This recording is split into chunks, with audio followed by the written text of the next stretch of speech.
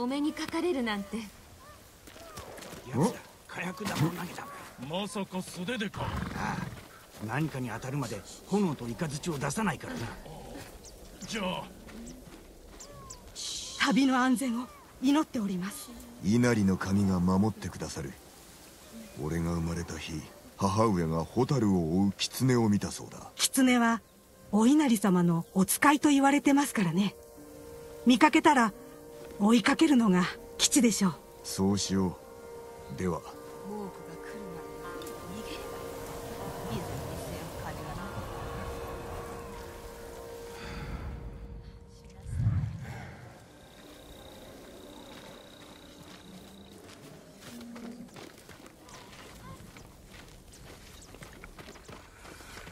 日和です。矢筒を新しくいたしませんか？皮を分けていただけたらお返しに何か差し上げましょう。では。またいつでもいらっしゃってください。まさかあなたもお侍？生き残りは他にもいらっしゃったのか？一体誰のことだ？貸根に住んでいるとかぜひお会いになられてください。行ってみるとしよう。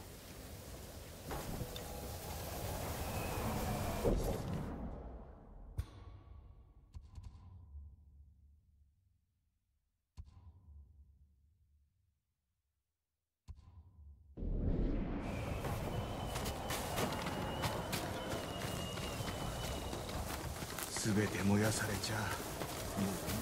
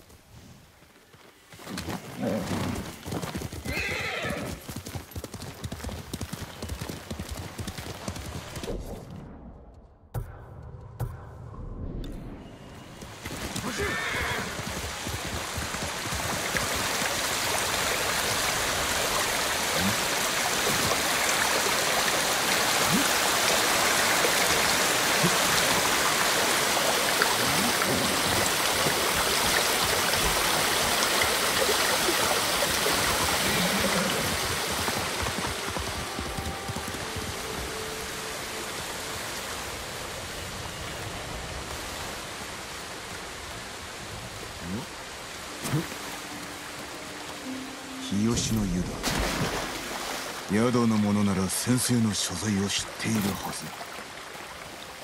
お侍そちらは堺家の太刀では。詳しいようだな。知らぬ者はおりません。それにしても聞きしに勝る美しさ。まさかこの目で見られるとは。竹を切る稽古か。懐かしいな。よろしければ一度お試しください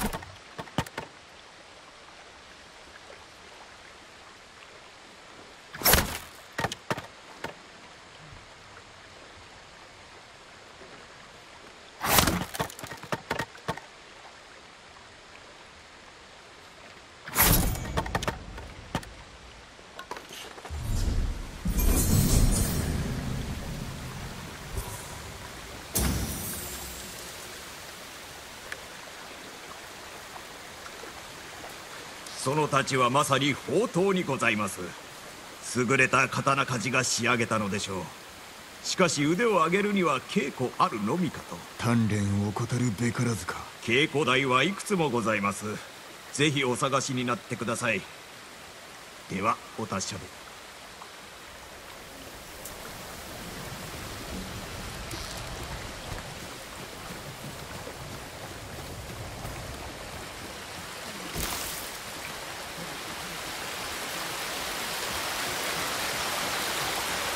お侍様戦続きでお疲れのようで。さあこの癒しの湯にお浸かりになってください。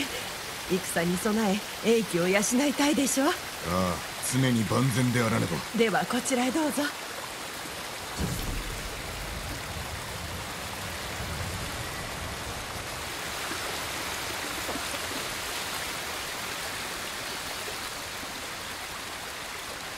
かるだけで身も心も洗われますよ。それにたびたび湯に入れば長く栄えて命を全うできると言われています。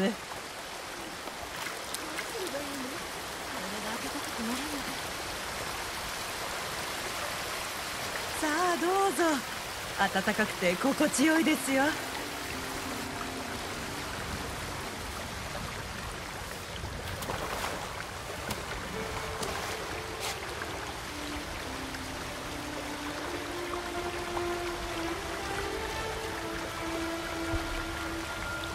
叔父上が生きておいででよかった。教えを授けてくださった。生涯一の恩人。失うわけにはいかん。決して。死にたがりのバカ野郎さ。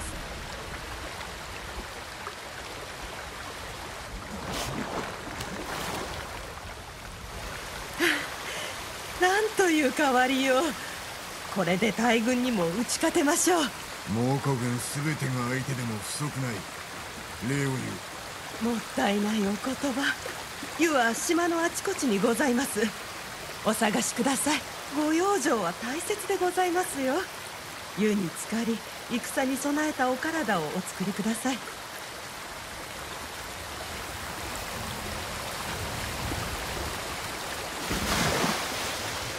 お侍まさか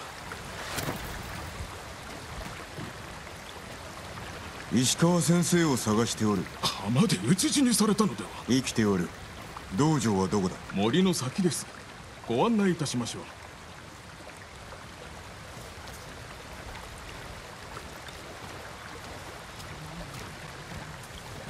ご出陣なさらなかったのでそうだ。戦の前日に村にいらっしゃったんですが寡黙なご様子でまあいつものことですけどね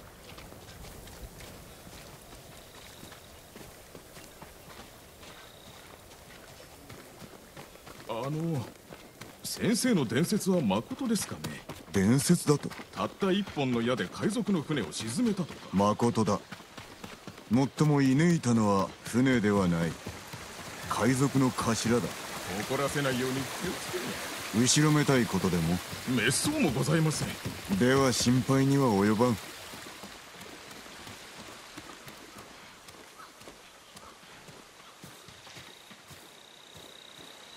道場はあの山の上にあります。根負けさせる気だろうな。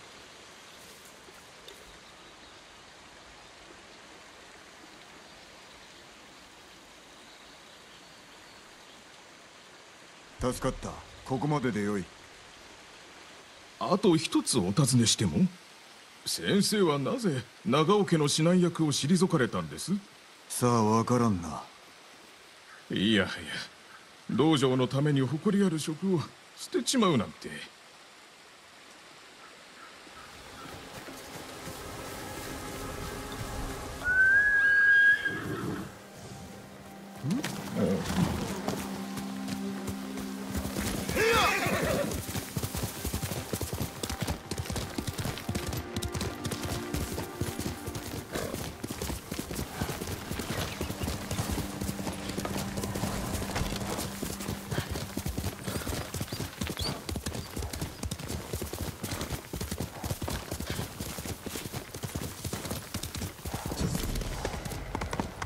先生の道場。いさかいがあったか調べてみよう。これは血の跡。新しくはない。射抜かれた後に矢を抜いておる。足跡だ。いたものかいられたものか。中家へ逃れられたのやも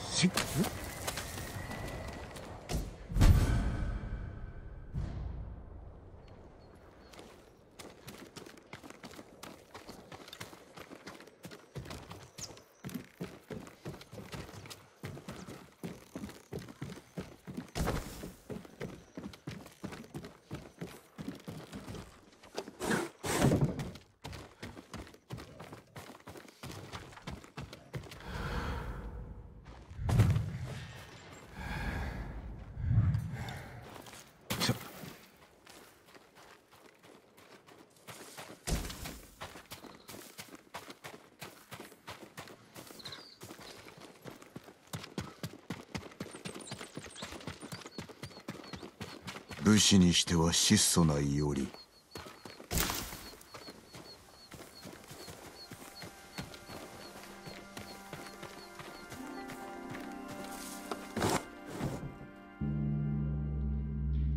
動くな。石川先生。酒井の跡取りか。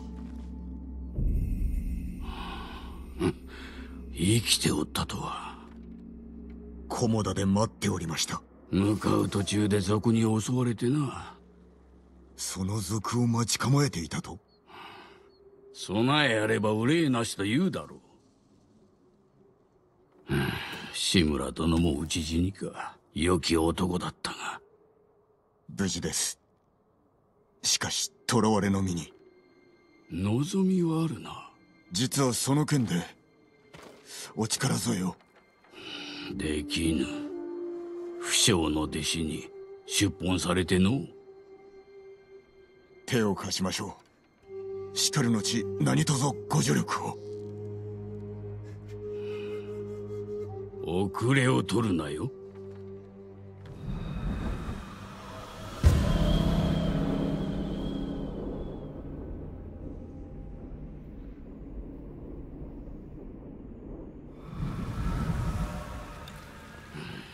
他に生き延びた者はおるか？存じません。では猛虎に手向かう者は？残念ながら他にはござらん。なら探さねばな。二人では救出などおぼつかぬお弟子殿の居場所は？巴の行く先など知れておる。巴？女子か。生まれは？生まれは百姓。だが弓は並ぶ者などおらぬ。大主でさえな最後にお会いしたのは確か10年前。弟子志願だったな。ご記憶とは？門前払いした奴は忘れぬ。なぜ私ではなく巴を弟子になさった？お主は有望。巴は神道よ。猛虎。殺す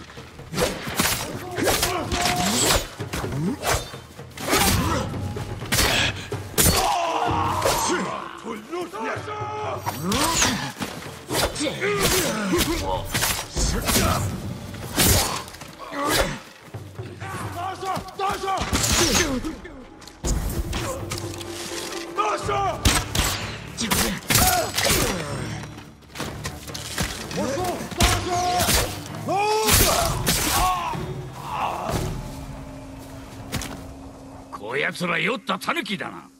だが菰田では負けました。目覚めぬ虎なら狸にも劣る。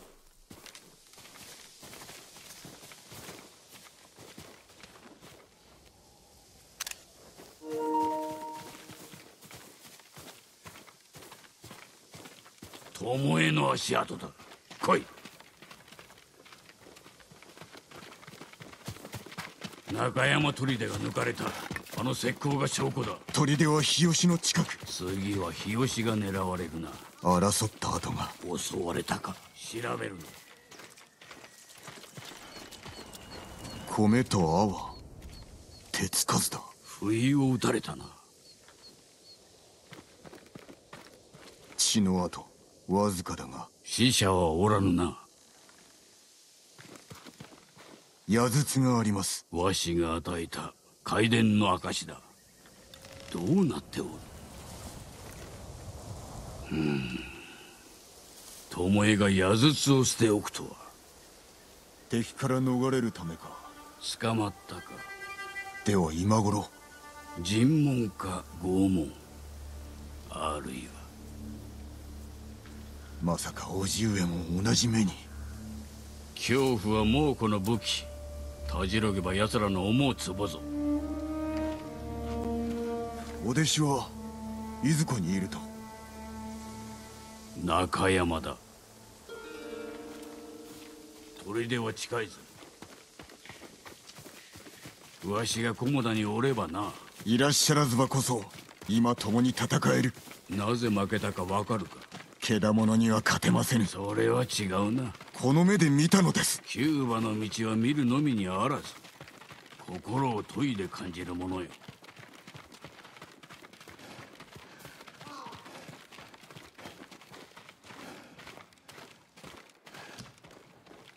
ここで止まれ。話がある。いかがなされた？この弓は数年前に長尾殿から賜ったものだ。結構な弓です。そうであろうとも増えての者がかような弓を引くなど考えるだに心が痛む。わそれほどの品を私に？早とちりをするでない。だがお主の腕次第で貸してやってもよい戦の前に試しておくか。手前にある灯籠を狙ってみろ。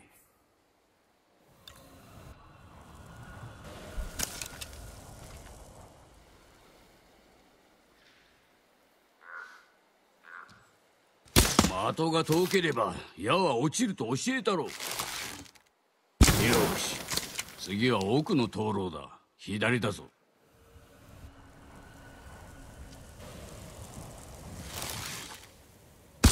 まずまずだ。さらに遠くの的ではどうかの？どう思った？手に馴染みますな。そうであろう。大事にすることだ。行くぞ。この弓があれば菰田でも。良き弓だが戦を決めるのは人だ。武具ではない。猛虎の兵器は火を吹くのですぞ。戦いはこれからよ中山砦だ。お弟子殿がいればよいが。上からなら備えがよく見えよ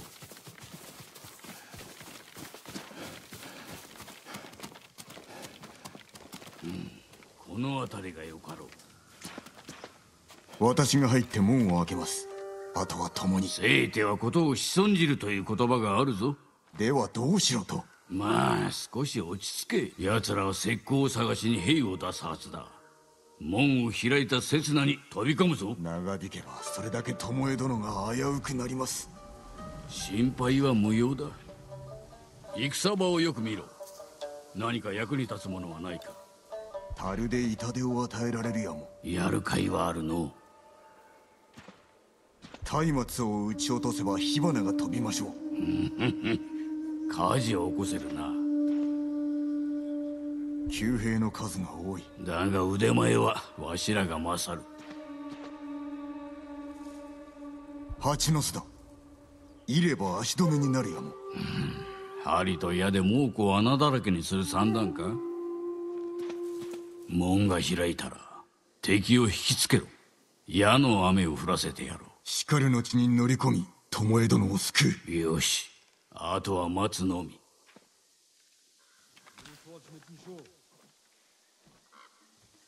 門が開きます。わしの合図を待て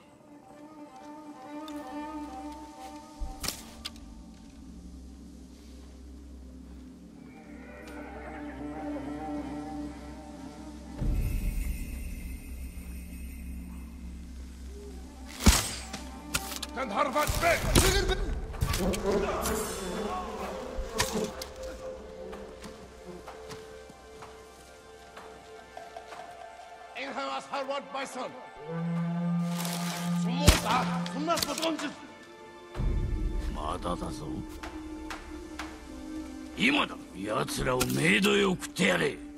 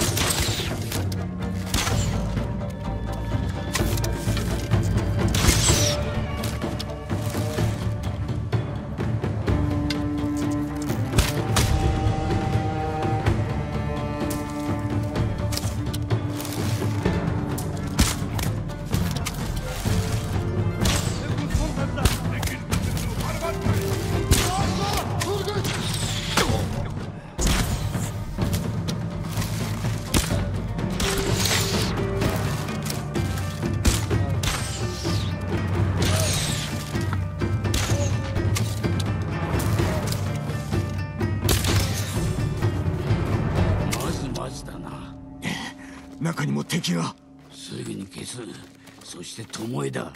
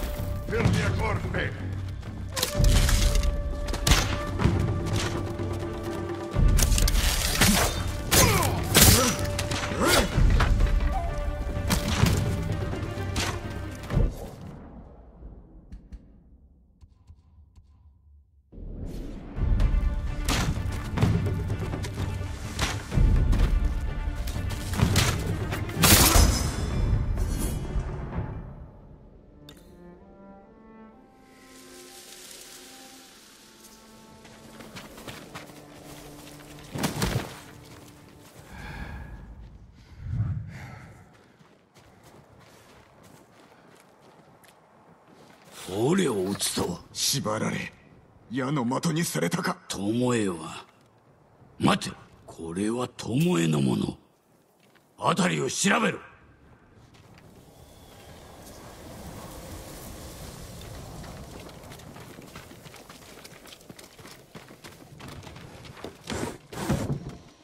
巻物。猛虎の言葉で弓について書かれているあなたの名もここに。わしの教えを猛虎に売ったということか。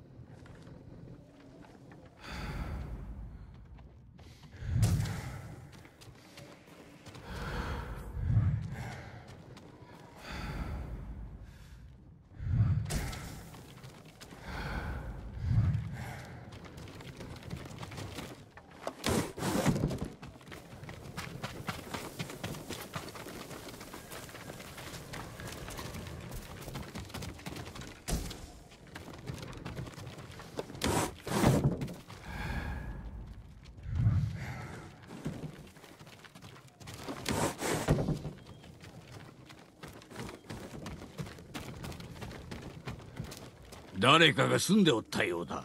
女子の衣服。巴のものだ。釈放されていたのか。なぜだ？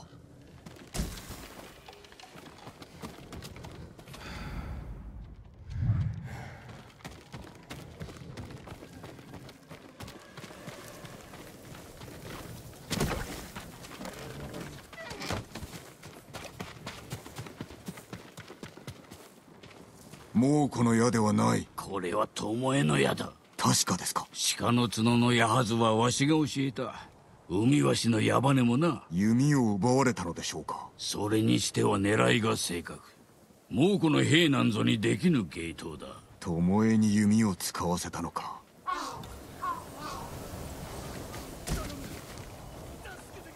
聞こえたか？島の者です。お助けを寒い。女を探しておる。弓取りだ。俺と同じ檻にいた女です。でも奴は解放され弓を受け取ると女房を殺しやがった。他の奴らも。あのムクロ己の腕を敵に売り込み寝返りおったか頼む痛えよ死にたくない。長いは無用。行くぞ。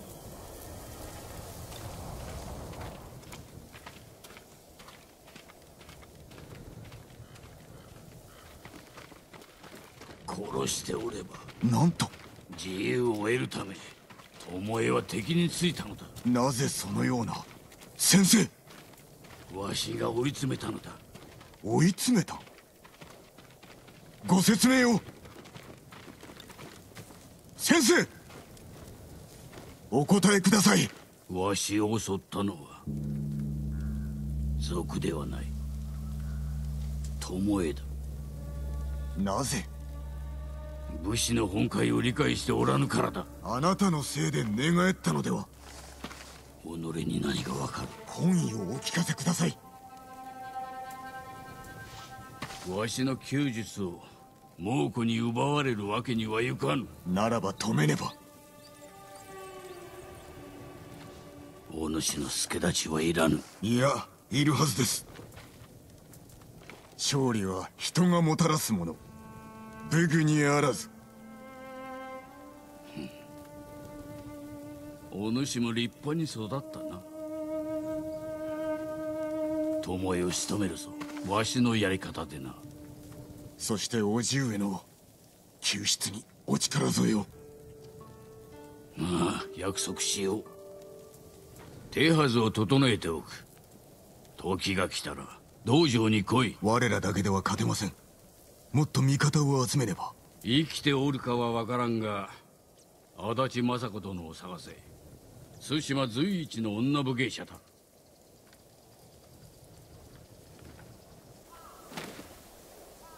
Uh,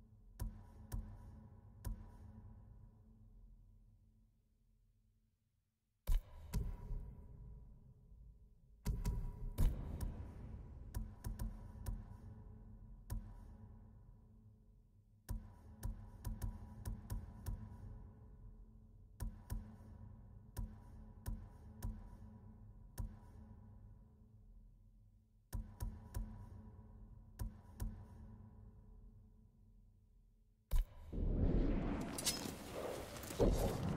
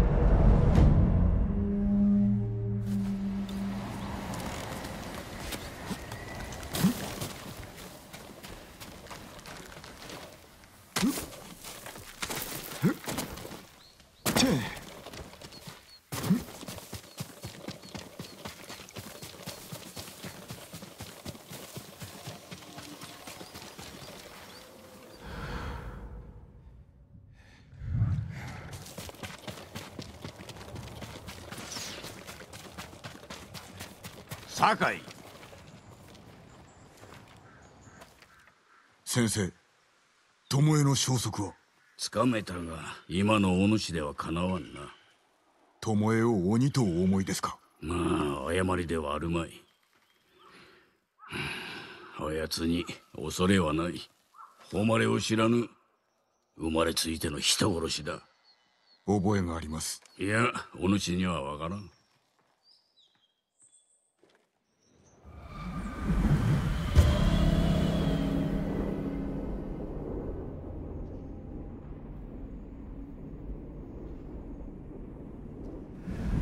いいずこへ。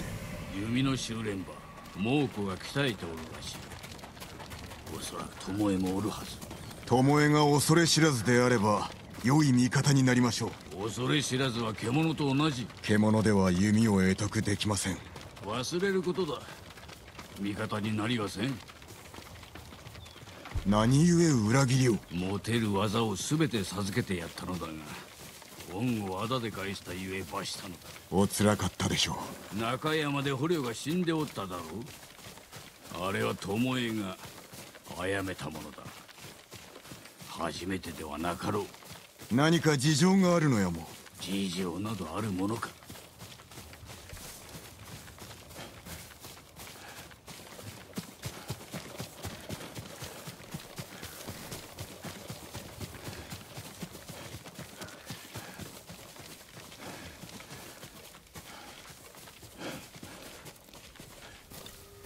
ここを登っていけ。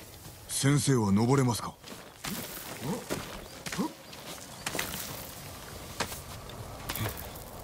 どうしたもたもたするな。手を貸しますぞ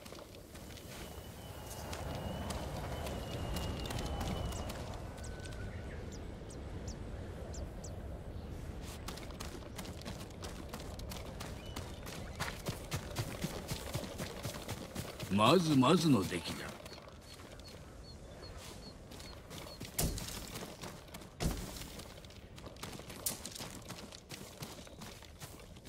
登る以外なかったのでは？いいや登れと言っただけだ。お主の鍛錬にな。やだ。日本式のものもあるな。猛虎は離れた様子です。的の近くに足跡があるかもな。的などどこに？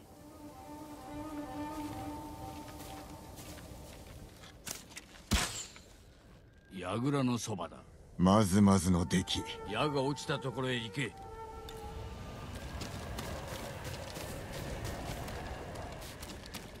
ほら急げ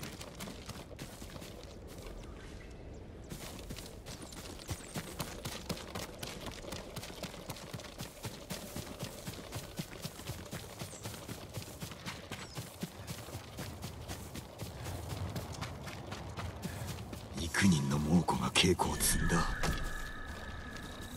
人の首を的に見立てたのか。先生猛虎です。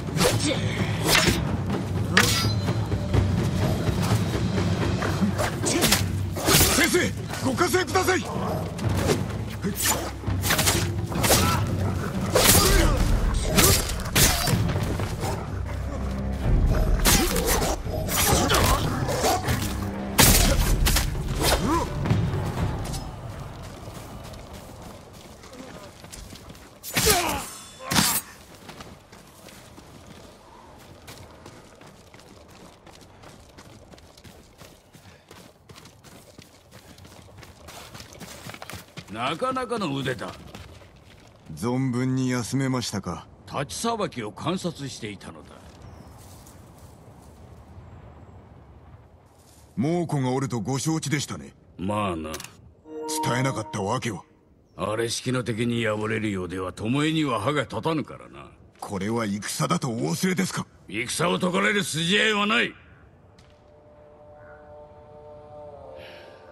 これからも腕試しは続けるぞ道理で巴に襲われるわけです。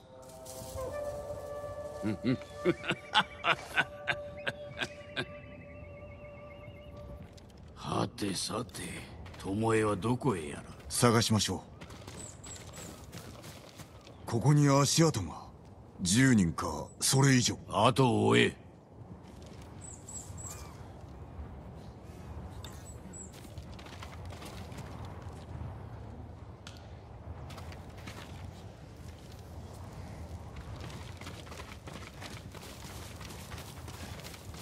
巴を見つけてもたじろぐな。うかうかしておったら死ぬぞ。次こそ弓をお使いに。あやつがいればな。いなかったら。お主一人で十分ではないのか？無論です。よくぞ申した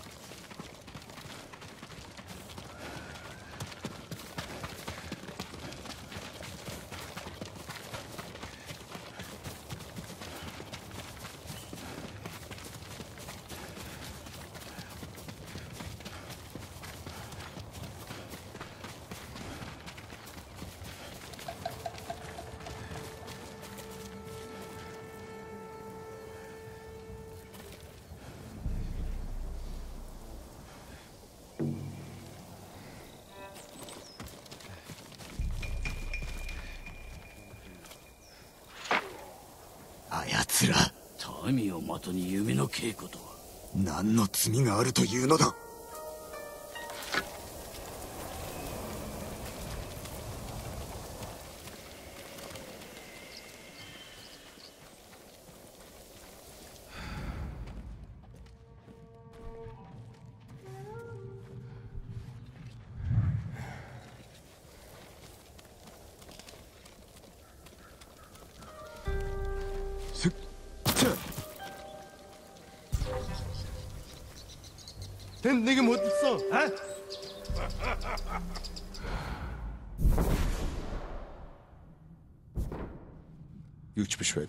بها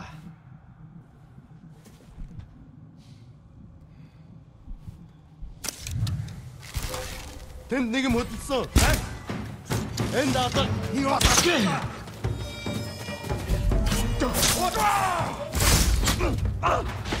Бари! Марчла! Марчла!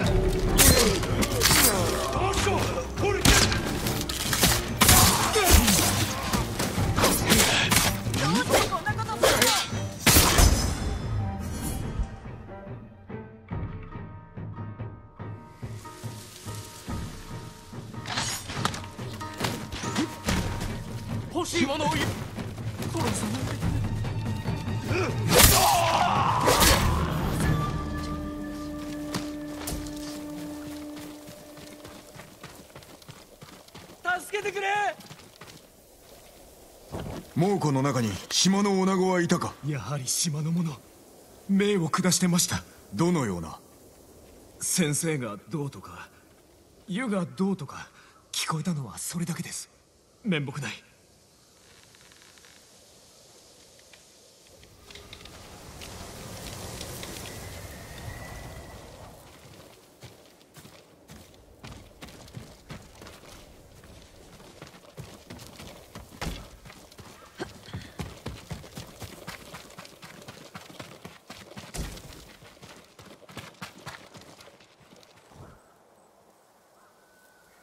下道に技を授けてしまったか。巴は猛虎を指揮していたそうです。日吉の湯の名も出したとか。よからぬことを始める気だ。酒井お主の平日志村やわしの教えではないな。猛虎は比類なき強敵です。倒すことを優先したまで。武士は守り手ぞ。追い打ちは野党のすること菰田を知らぬゆえ。見ずともわかるわ。地獄であったであろう。だが次の下道を育てる気はないぞ。いかにも下道は一人で十分。巴が日吉の湯を狙っておるなら備えなければならぬ。よいな。では道場で会おう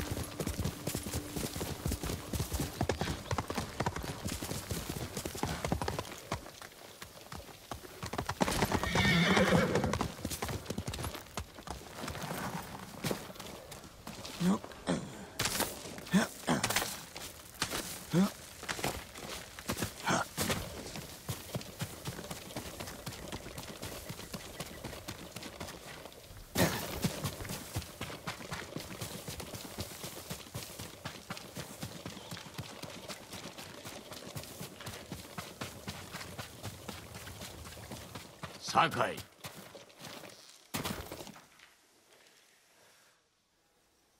巴の消息は？日吉の湯の内と外で人が居殺されたそうだ。おかげで村の往来はすっかり減ってしまった。巴の仕業だと。適切な場に弓取りを置けば村の孤立などたやすい。先生が長尾家でお使いになられた平術ですね巴は覚えが早いな。いかにもまるであなたの分身です。ならばそれを逆手に取ってやるぞ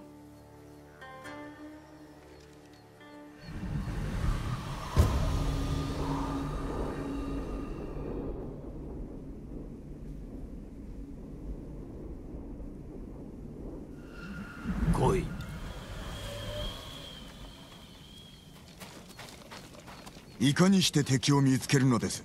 己を巴と思え。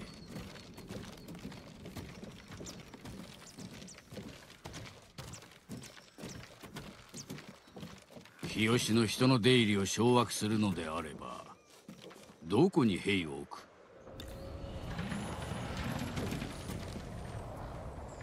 村の入り口を兵で固めてはいかがでしょう、もはや街道に人はおらぬぞ兵を置くだけ無駄だろう。宿の後ろの道に。いいな。隠れ場もなければ見通しも悪い。わずかな人数で村全体を制すのだぞ。浜への道は数人で足ります。さよう。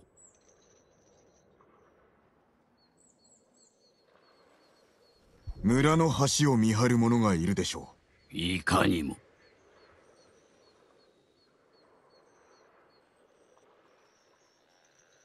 村の南の道は上り坂。弓を射るには最適かと。筋がいいではないか。見込みがあるな。では参るぞ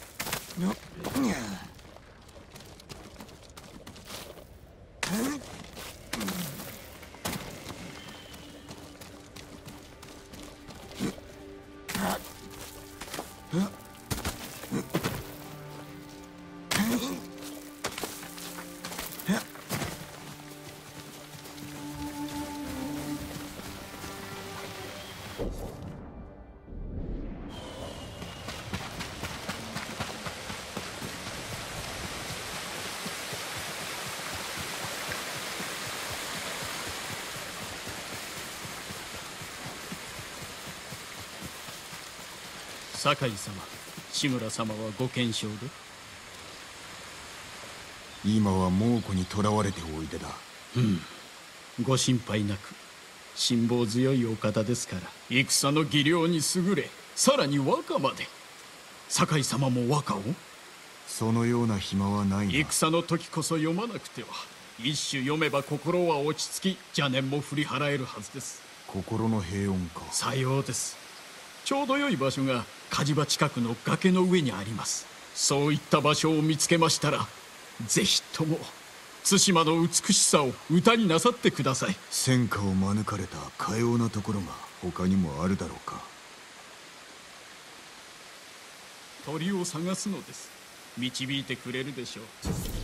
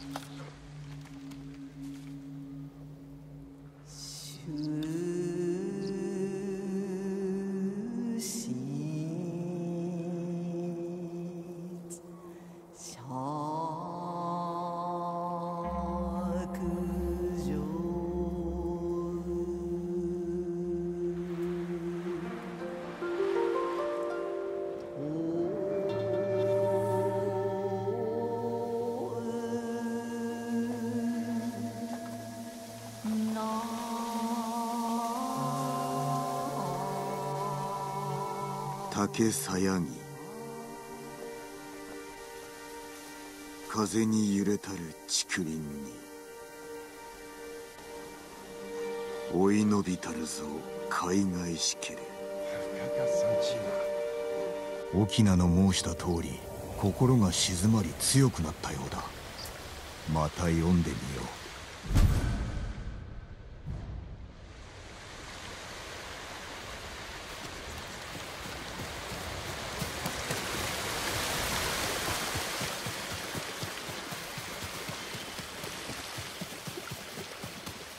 巴には他に何を？余さず教えた。長尾家を去った岩そろそろだ。用心しろ。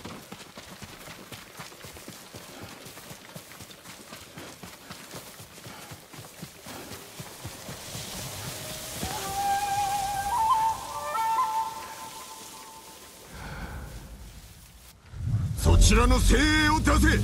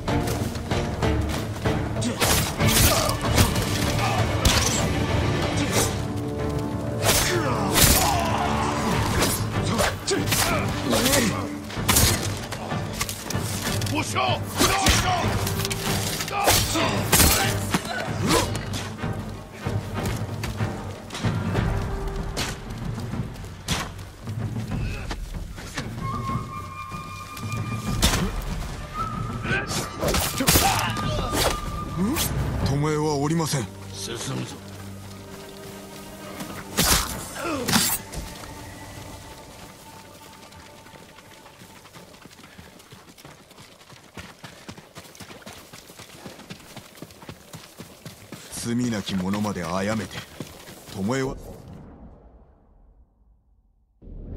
島民としての誇りまで捨てたのか。猛虎があやつに約束したのは権力富地位。ここでは得られぬものだ。己の出自を疎んじておったということか。大主は優しすぎるな。優しさは強みです。武士にとっても。誰の教えだ？孫子か？叔父上です。慈悲の心はあだにあらずと示してくださいました。志村殿が情けをかけた者は害なき者のみ。過つなよ。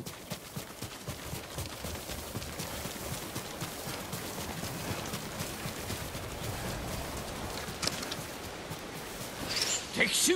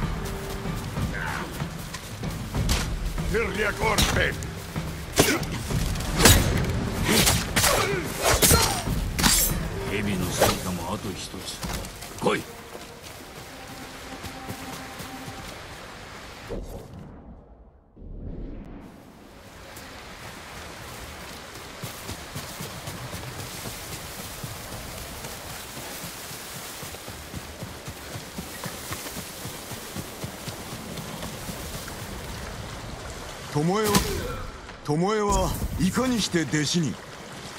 父親の粗末な夢だけ持って道場に現れ帰ろうとしなくてな。追い返そうとは？したぞ。だが次から次へと的に矢を当てようって。まったく度肝を抜かされたわ。鍛えていたのでしょう。構えは不格好。あれでは戦に向かぬ。だが矢を外すことをためらわぬ。度胸だけはあった天賦の才か。殺しの才だ。気づくのが遅すぎたがな。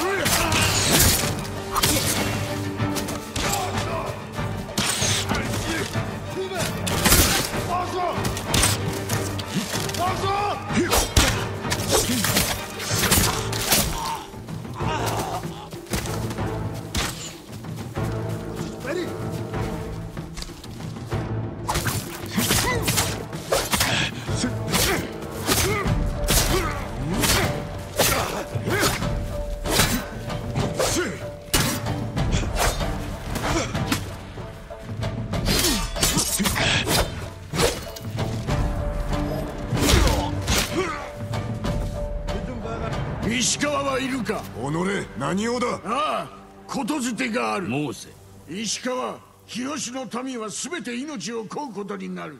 長尾博則に撃たれた者の黙れ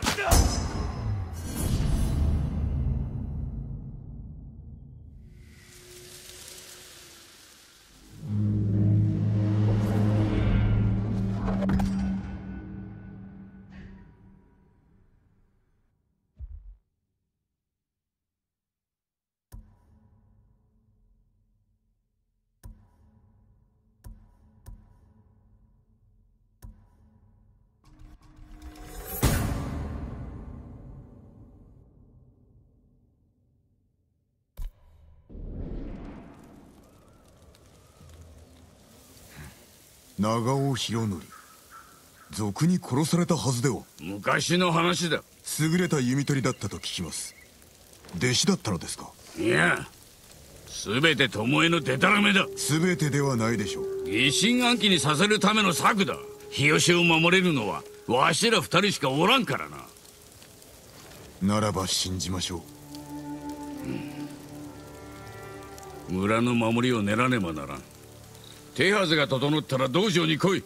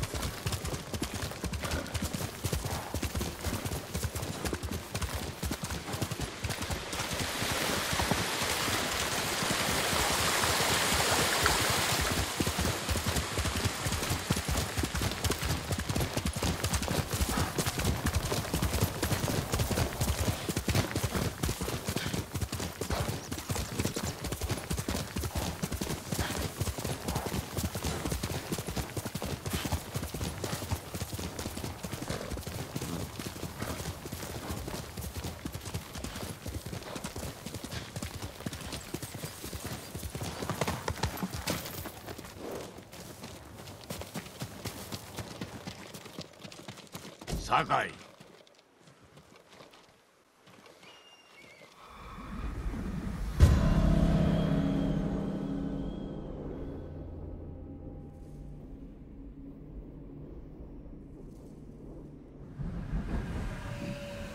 手遅れになる前に日吉の意を巴から救うぞ。なぜ日吉に固執するのでしょう？あれはわしの故郷滅ぼすことで力を示したいのだ恥を知らぬな。なれと地の利は我らに軍勢だろうが退けられましょまたは村を猛虎にくれてやる。巴は勝利に酔いしれ用心を忘れる。その隙を叩く。村を犠牲にするとおっしゃるのですか？その価値はあるであろう。それでは巴と同じです。確かに。な巴は北から来る。そちらに注力しよう。これより高台に行き矢を置き。酒井聞こえたか？一夜一冊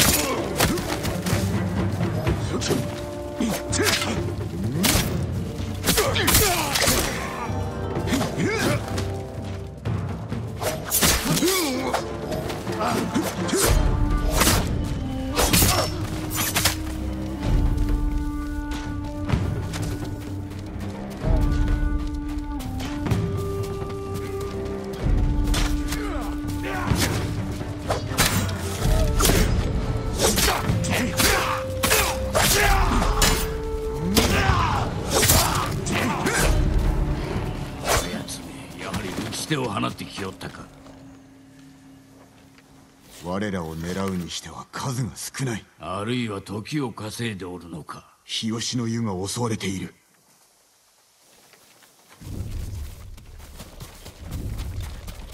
行くぞ。わしが死んだらお主が巴を殺してくれ。心得ました。巴はお主も殺しわしの技を滅ぼす気だ。さようなことは決してさせません巴はどこを狙う？村の裏手の滝の近く。あそこは手薄だ。猛虎より先につけば備えもできましょうが果たして。難しいであろうが。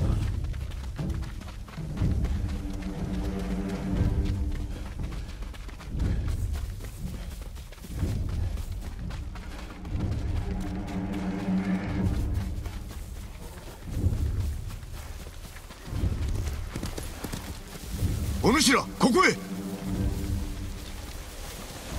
がなさいました。猛虎が日吉に向かっておる。皆を宿に集めて隠れておれ。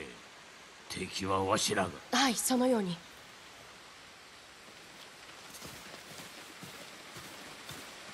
ここは見晴らしが良い。挟み撃ちの心配もなさそうだ。急がねば。地の利をどう生かす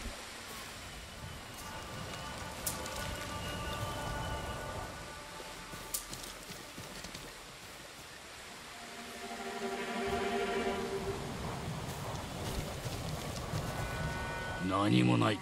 ありものを使うまで。蜂の巣か。足止めになるな。樽で痛手を与えられるやも。草むらに猛虎を誘い込むか。火の矢は持っておるか。火の矢を持て。わしらまで燃やすでないぞ。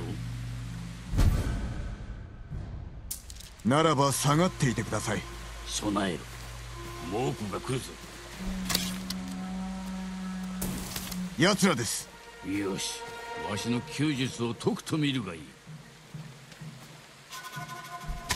降りてくるぞ殺せ。一夜一冊で参る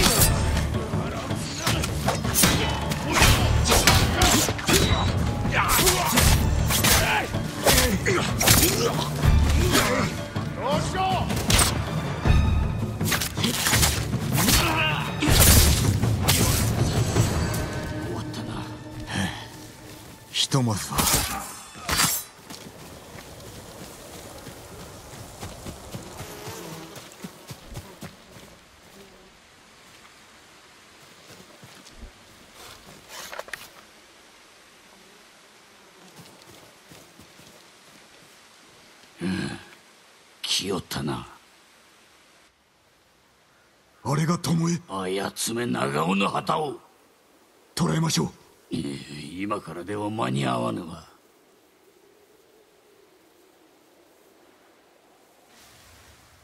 腰抜けめいやバカにしておるのだ。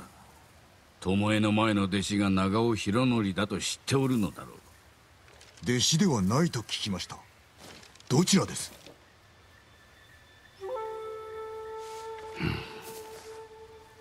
かつてのわしは若く傲慢で無情だった。博則はその姿を真似て兵を率いて謀反を起こした。敗れたものの長尾家の精鋭を道連れにしよった。賊と戦った末死んだのではないのですね。それは長尾家を守るための作り話死としての責を問われわしは全ての信頼を失った。情けとして指南役のみ降ろされてな。ああ休日を失わずに済んだと己を慰めたが。見てみろ。こんなものに何の価値がある？巴にも聞かせたのですか？わしが再び弓を教える意味を知ってほしかった。結局あやつにも裏切られたがな。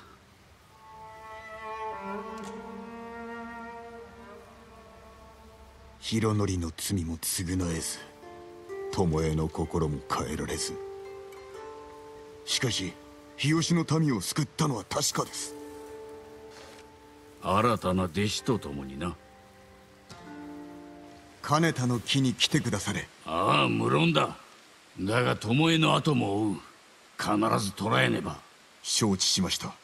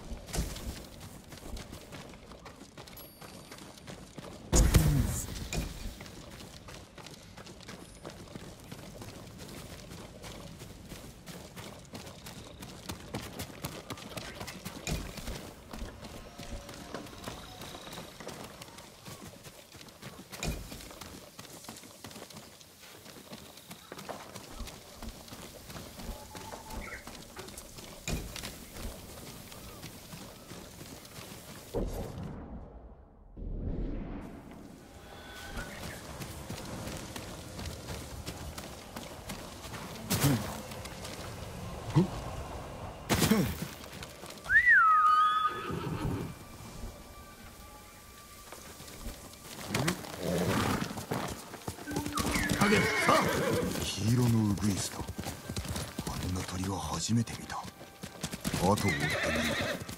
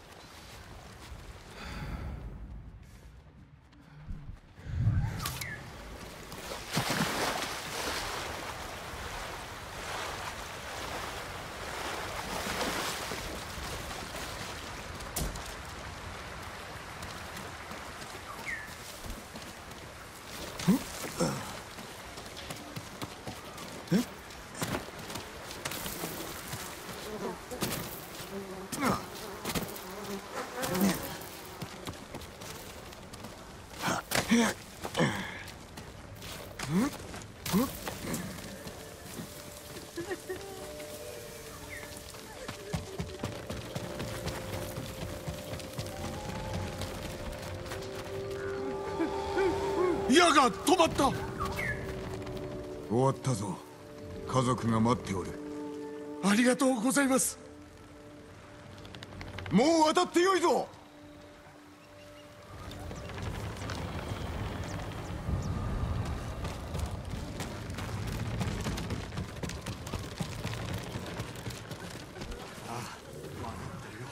兵は倒した。痛めつけましたか。なぜお主が気にかける？このまま日吉の湯へ向かえ油断するでないぞ。はい。そうします。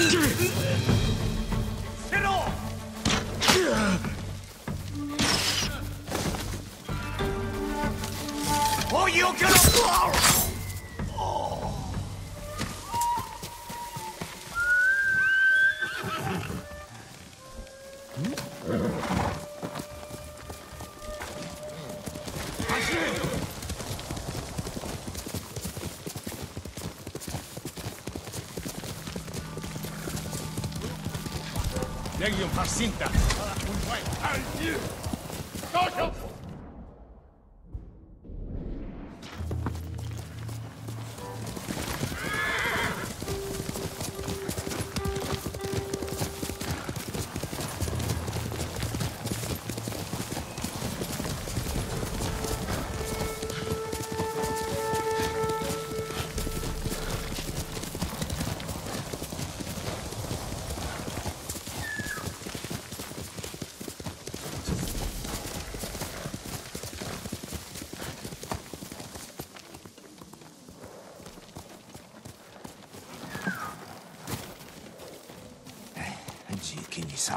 そうだな。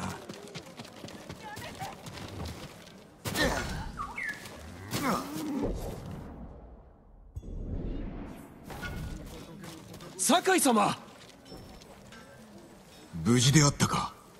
長尾家の下男の権次郎と言ったな。長尾殿のことは無念であった。俺のような者のことを覚えててくださったんですね。あなたのおかげで大勢が助かってます戦はまだ始まったばかりだぞ。だから俺もお手伝いしたいんです。みんなで使えそうなものを集めました。どうぞお受け取りください。これは助かるな。皆に礼を伝えてくれ。他に役に立ちそうなものがあればあなたの立ち寄りそうなところに置いておきますね。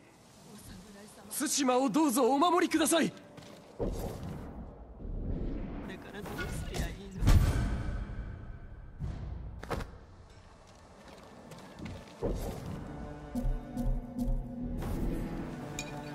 なぜ猛虎は？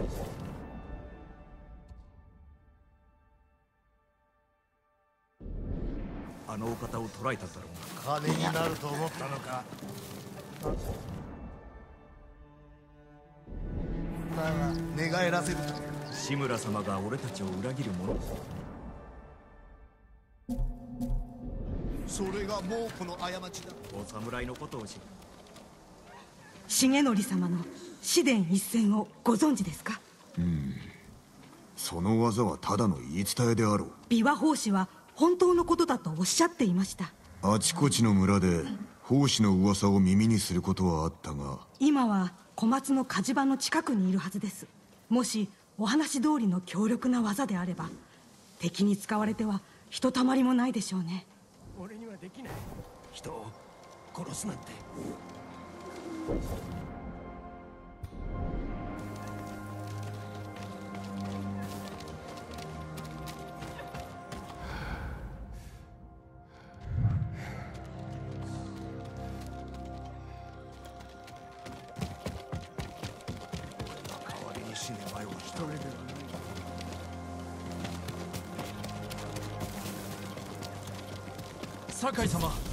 事で。ついてくよ。一人で出歩くのは危ないから。この近くに座ってるだけで。気持ちが安らぐ太刀の切れ味を鮮やかにいたしましょう。酒井家に伝わる宝刀。素晴らしい一品です。見ただけでわかるのか。私には刀の顔がわかるのです。人と同じくそれぞれ違うのですよ酒井様素材をお持ちくだされば喜んでその宝刀を鍛えて差し上げましょ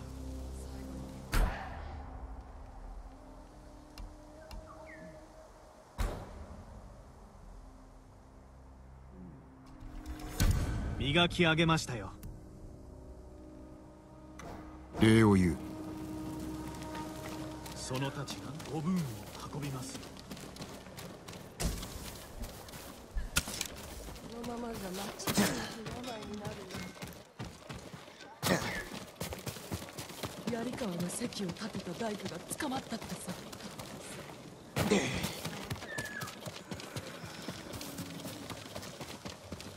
心配ない。志村様は殺されない。良い弓に勝る武具はございません。私ならばあなたの弓の力を引き出せます。それは頼もしい。ぜひ見てくれ。もったいないお言葉では素材をお持ちくださいませ。その後は私が。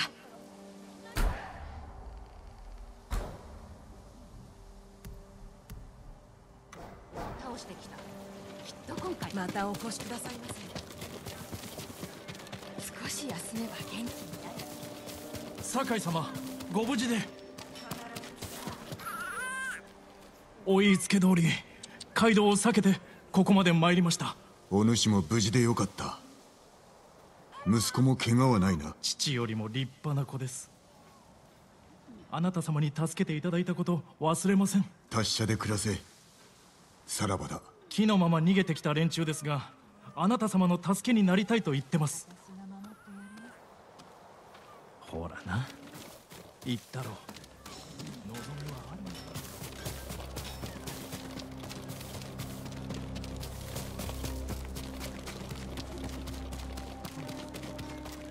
侍がいなくなったら誰が守ってくれる？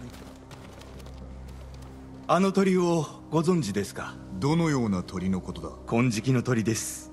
鳴き声を聞くと平和だった時を思い出します。ああ母上はその鳥のことを何よりも対馬のことを知っておる生き物だとおっしゃっていた。その通りでしょうね。もしこのような時でなければあの鳥を追ってどこに誘ってくれるか知りたいものです。俺が追ってみようお主は平和が戻るまでは控えておけ。そういたしますね酒井様。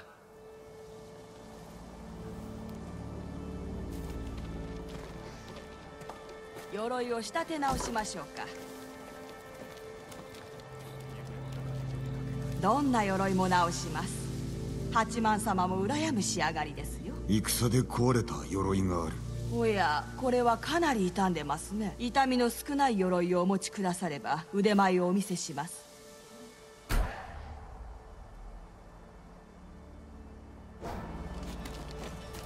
道中どうかお気をつけて。